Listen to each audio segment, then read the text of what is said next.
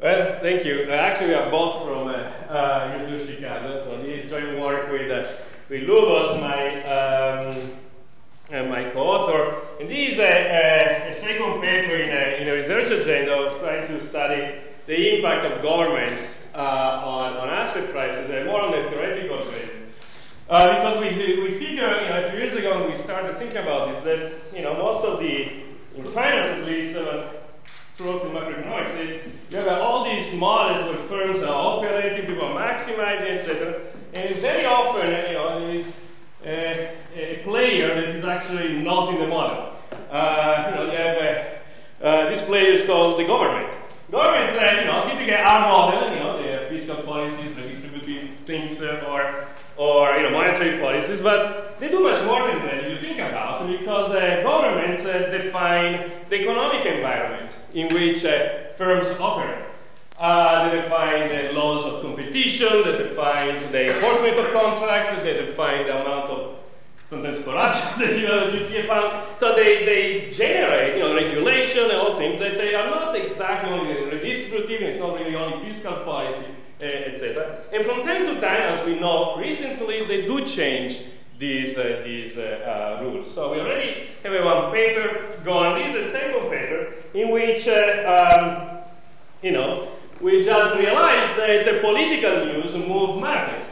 And you know, even that this conference is coming just two days after the Italian election, and uh, on uh, upon news we had the down, you know, the stock price dropped two percent in the United States, well, in Italy five, but two over here, you know, that should motivate that, But those were, you know, Eurozone debt crisis, you know, more chatting about uh, uh, what is going to happen, somebody just announcing that there is going to be a referendum, prices drop across the globe, then they say, well, this guy is kicked out, I'm not saying who it is, and then suddenly prices go up. These are all political news uh, and uh, that, that move uh, asset markets. Or, you know, it's been mentioned the US debt ceiling, uh, you know, elections results, etc. And yet, you know, there is really, if you just look at mainstream finance, there is not much of political news in finance theory, actually. And so we thought, well, you know, maybe we should uh, sit down and try to think about uh, a stylized model just to even think about uh, how do political news uh, enter. Of course, you know, whenever you have political news, as any news may affect future economic growth, expectation, etc. But more structure, how does it affect the risk premium? How does it affect expected future cash flows and all the other stuff? That's what we do in, uh, in this paper. In this paper, we are focusing really on the risk premium before any actual uh, change in political uh, regulation actually takes place. It's just through the, through the expectations. So what we do, we develop a model, so there's going to be many theory. We have a little bit of empirical work at the end, based on, on the index of, of Nick and company, um, in which uh, you know, political news move asset prices. And because you know, it's important to think about uh, in, a, in a general equilibrium setting. You know, you can just uh, think of um, uh, partial equilibrium because that is the whole point. And, but we want to have the, the, minimum departure from, from you know, the classical setting, if you want. So what we are going to do is to take the, what we used to call the social planner, uh, we call him a government, and, uh, and we give him you know, preferences because that's uh, what we think. So the government uh, in our model is going to have both economic motives and non-economic motives. Economic motives is maximization of social welfare, the usual stuff that we have been doing for ages, but now we actually tweak those, uh, these utility function. We said that's his utility function, and they maybe maximize something else as well. And uh, governments will do, they do, they choose policies. That's their work. They don't do anything else. Um, and uh, as soon as you start thinking about it, then you figure that there are really two kinds of uncertainty about politi- political uncertainty that show up. One is uh, politi- what we call political uncertainty, and this has to do with what the government go, is going to do in the future. You know, there is uh, you know, a possibility of uh, reforming the banking sector, but there are many proposals. Which one are we going to choose? what is the capital ratio? What is uh, you know, what are we going to do with derivatives, all the other things that uh, generate a whole set of possible policy choices. The second uh, is what we call the impact uncertainty, which stands short for policy impact uncertainty. In other words, you know, if you take the Dodd-Frank Act, you read it very carefully, all line by line, you know exactly what it's doing, etc. What is going to be the long-term impact of this policy reform? I don't know, you know, it's an uncertain effect. You know, we are changing the policy, it's going to have an impact, but we don't really know whether it's going to be a good impact or a bad impact. We don't know, so we call it impact uncertainty. And uh, overall, the two things are interacting and uh, generating a lot of effects that are kind of we find interesting. Um, you know, just the main results out of the, of the theory, a little bit empirical as well, is that political uncertainty commands itself a risk premium um, on a, its own factor, as we were saying before, a factor. And, uh, but you know, it's state dependent. This premium is going to be larger in, in, poorer economic conditions. So you would find it only when the economy is not doing well, but when everything is doing fine, actually political risk premium is not there.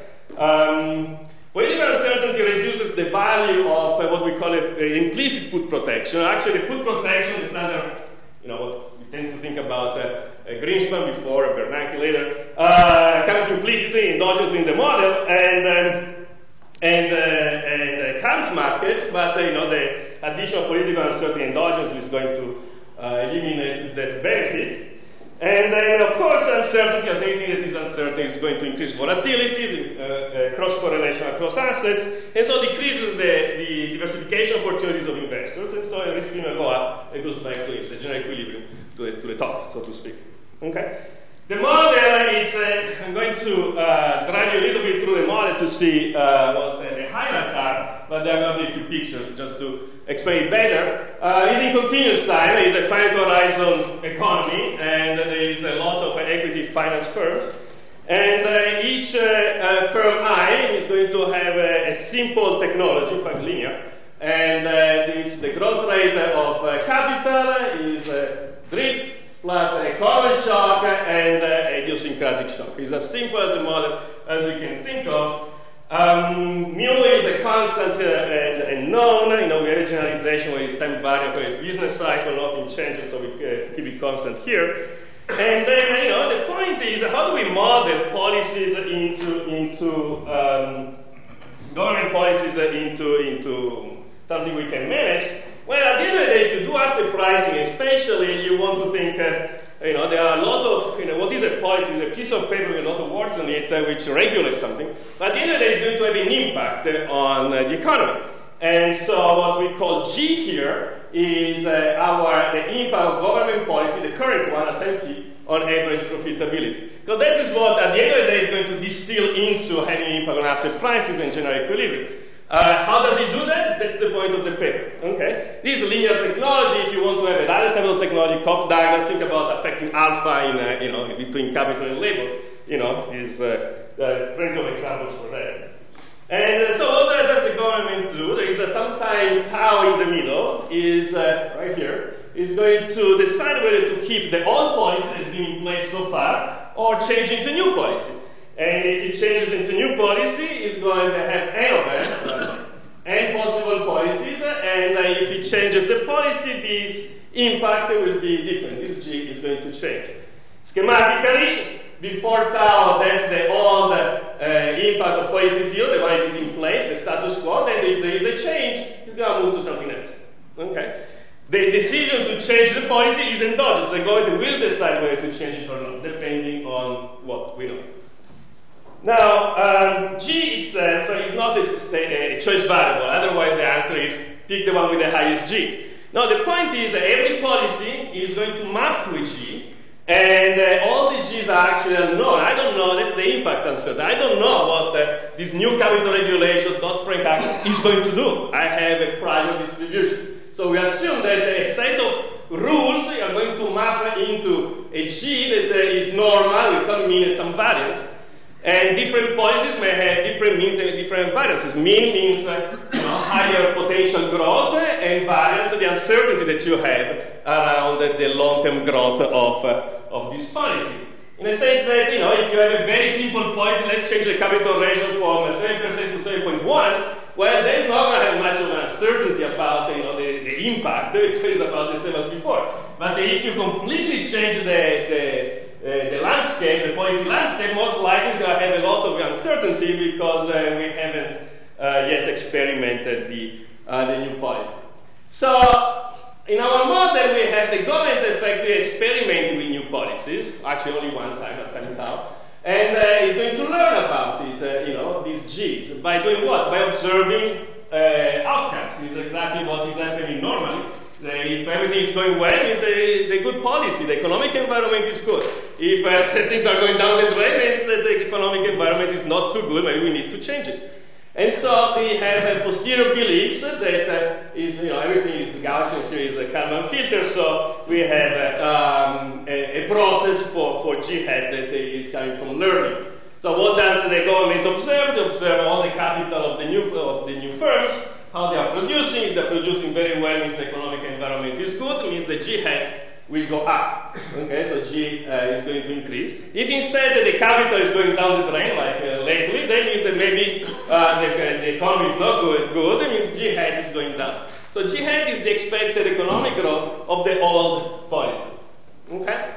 So that's, uh, and at the time of a decision, if there is a policy change, then G hat is going to move from this posterior into a prime. And then we start learning again. So the model is very stylized, very simple. You learn about G0 before tau, and you learn about Gn after tau. In this paper, we are going to only look at risk premium way before tau, not at tau. Tau was the other paper. The new paper is to see what happens down here. Okay? So that's only the impact uncertainty. Let me now finally get to the political uncertainty, which is the highlight of this new paper.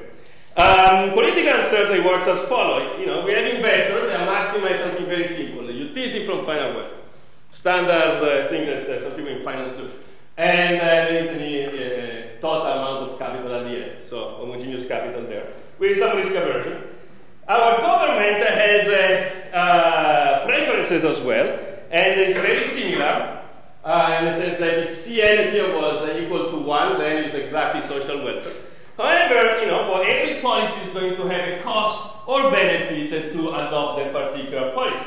Okay? That's uh, where it's their own preferences. It doesn't have anything. It's not the real cost. It's not that you're burning capital, anything. It's just their preferences. Why? Well, we have a lot of reasons why they may deviate from social welfare. They could, uh, you know, coming from Italy, moreover, I can even think of many reasons, but uh, in the United States, there are lobbying groups, there are all sorts of possible things that, that may generate a wedge between the social welfare and what the government is going to do. And uh, our point here is that uh, investors, anybody uh, in the economy, actually don't observe the preferences of the government. Otherwise, they would be able to exactly uh, anticipate, but they're going to learn about them uh, over time. Okay, so we have uncertainty about CN, it generates political uncertainty because we can't anticipate exactly what the government is going to do. In the future, we can only have prediction of what they're going to do depending on what we learn. And so they are going to, our agents are going to learn about political costs as well. We have a signal, a steady flow of political news, uh, which is this a continuous time version, if you want, of signal equal true value plus noise. That's how you would model in continuous time, and continuous time is useful for a number of formulas. I'm going to get in a second. And so, like, uh, like before, you're learning about the cost, which means that you have a posterior uh, belief about, uh, which is always normal, about its, uh, its dynamics. And the key here is that we're going to call this DZ hat uh, with the N and the C as political shocks. These are only news that affect the cost of uh, uh, changing the policy or choosing policy N. So it's one way of uh, inducing political shocks into an otherwise normal model because those are, going to affect effectively the choice of one uh, policy versus another. Interestingly, you know, by our choice of modeling, where we choose the way that is orthogonal to the economic shocks, which is the other one, the other one that with the, the normal G hat about the uh, capital accumulation, those are economic, uh, economic shocks. And so, before T, we have two, before Tau, we have two learn. Learn about the economy. Everybody has a meta information. Everybody knows the same. And uh, we are learning about the various costs uh, of changing the policy. So, uh, what are the results? Well, going down to the, um, you know, if you, if you take social welfare, of course, this maximization of utility is going to just say that uh, uh, policies with higher mean or lower variance are preferred by our investors, which is kind of, uh, you know, they are uh, risk averse is not surprising. So, you know, any new policy is going to increase prior uh, mean or lower variance or lower the variance, they are welcome. Okay, so that's the idea of a, a politician coming in and calming the market. So let's choose a policy with very low values so that there is less uncertainty. Um, that's one. However, the government is not maximizing this. The government is maximizing that plus this cost. And so they are going to choose, oops, sorry, the, the one with the maximum uh, mu, which is the one you just saw, minus this cost. And that's the cost uh, for the government. And so if a policy is actually very good, but it is also very costly from the government undertake, they're not going to do it. Or it's less likely they're going to do it. In fact, uh, you know, we have a corollary here. It says uh, the government will change the policy if uh, the posterior mean about economic growth, G hat, of the current policy, is less than a threshold. This is a complicated expression, but it's a number, like minus 2%. Okay, so this means that uh, the government, uh, uh, if the current, current policy is perceived as uh, uh, sufficiently unproductive, then the government will choose a new policy. Okay, so even if it's very costly, if it's really bad, sooner or later they're going to change uh, the policy. In that sense, endogenously, they provide sort of good protection to the market because this decision is going to actually calm the market on its own. Okay, we're going to see uh, what happens. And by the way, this is going to generate an implication that typically you have uh, new policies after crisis, which is one of the things that in political economy people more or less have established. Typically, big changes uh, occur when things are going down. Okay. So far is the real economy. Now we have to go to the financial economy, so market prices. A bunch of formulas here that uh, I'm going to spare you. But the key result, if you want, is uh, the fact that uh, we have three types of shocks, all of them priced. We have capital shocks, the boring one that is very standard, nothing particularly exciting there. We have this impact shock. The, these are learning about the current policy and what is the long-term impact of those ones. Uh, oh, I should have said, this is the stochastic discount factor. So, you know, what you use to discount future cash. And then what is important is this other term here, which is the new one, and uh, it's uh, uh, the po political shocks that enter straight into the, the stochastic discount factor. And uh, this is a new factor that comes in, if you want, and is due to learning about political costs. Because you're learning what these guys are doing, then it's going to have an, an, impact on the, on the stochastic discount factor. What is the intuition there is because what does the government do when, when they change a policy, they don't affect only few firms. Normally, they have cross-sectional impact on the economy. That's at least our assumption. Therefore, any decision of the government uh, is a systematic factor by, the, by construction. So it's uh, you know if I am behavior, I make a mistake. Uh, well, if I have a small firm, nobody cares because that's not diversified away. If I make a mistake negative, it makes it positive, nothing changes. If the government makes a mistake or the government does something big, it's going to affect the cross-section of firms which implies that any risk that is in, implicit in this, uh, uh, in this choice is going to have a, a, pri a, price risk by, by, by definition, if you want. Moreover, we find that it's, uh, it's going to be state dependent. So this, uh, this uh, whole term here disappear when G hat goes to infinity. In other words, when in good times, actually you only have the economic shock. That would be the standard uh, result. But uh, in bad times, then you have one additional uh, risk factor that show up, and that's uh, going to be priced in our model. Um, what else in here? Well, let me just show you a little example with two policies and a couple of pictures um, to give the main intuition. And that's you know, suppose that uh, you know you have a node, a node policy, and then in case things go bad, you can choose two new policies. Well, let me just tell you what, what they are. One has a high uncertainty, and the other one has low uncertainty. Very simple. So you can get into safer or more risky. And to make it uh, easy from a welfare perspective, assume that they give the same utility, which we can do it because we change the mean in a way that uh, you know you're on the efficient frontier, so to speak. Um, these are some parameters just to put the picture. And this is the key. Uh, this, plot here is going to give the main intuition of what's happening. Um, time on the x-axis there is g hat, the uh, how good is the current policy. Okay, so the one that is uh, uh, in here, and I'm plotting here the probability of adopting a given going policy. The dotted line is the probability of keeping the status quo. If things go well, well, the government is not going to do much. Why? Because, uh, as I said, we are above the threshold. You know, there is no need to change the policy everybody expected, and so nothing is going to happen. So, but if uh, the economy starts going badly, then it becomes more and more likely the government will actually do something. The usual issue at the beginning of the crisis, back in 2008, everybody expected the government to do something, whatever it is, just do something. the problem is that as soon as you do that, because you have a menu of possible alternatives, then you have the, uh, you give, uh, for instance, 50-50 chance to have a, a high, a high risk or a low risk type of policy. Okay? And uh, you see, on this side you have zero uncertainty, political uncertainty. As things go badly, then the political uncertainty increases because you give zero probability to keep the oil. Like you don't know what it's going to do. You know, you have two alternatives, and uh, well, you know, one or the other. And this is going to increase the uncertainty about uh, uh, what they're going to do, so the political risk, uh, so to speak. Because exactly, you know, this endogenous, so as G goes bad, uh, you have a higher uncertainty there because now you have, you don't know exactly what they're going to do. And this is going to have an impact on prices. So what I'm plotting here, the x-axis is always the same. What I'm plotting here is the market-to-book ratio for different values. Look only at the solid line. Normally, as you learn about G hat, then uh, uh, this is the type of price movement that you get, and that's the standard economic risk premium.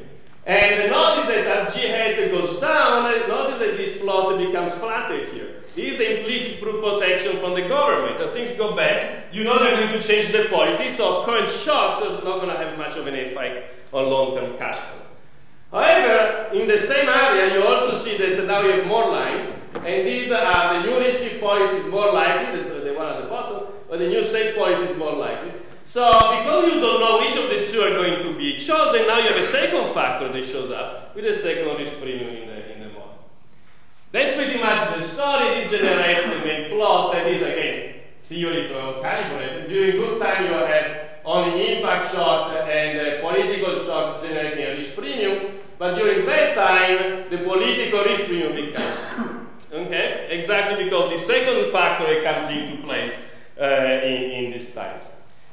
Um, then we, know, we do a lot of different choices here, parameters, just to show that the things are you know, whatever in different configuration. Let me just uh, skip everything. And um, we also show that uh, the more heterogeneity there is uh, in the policy choices in this menu, the bigger is going to be the impact. Okay, because uh, you know they're going to change the world or they're going to do something tiny. Well, the, the, distance between the two is going to have a big impact on the risk premium, just uh, for the same reason. So let me just keep uh, uh, ahead go to the quickly to the end. So the um, you know this is the index that I don't have to introduce because it's we have been discussing for a while. And um, you know, we do an empirical work and trying to, um, you know, you've seen some, some of this also in uh, in uh, in Nick's presentation. Uh, the prediction of the model are that during a higher uncertainty period, you should see a higher correlation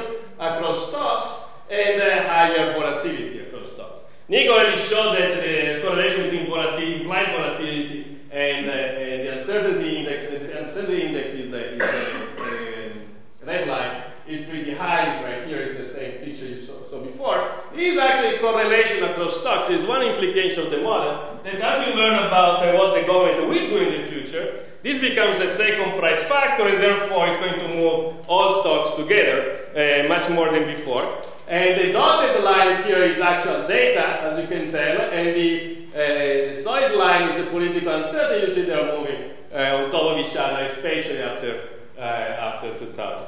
Then we do a bunch of regression, but again, that I'm out of time, let me go to the conclusions.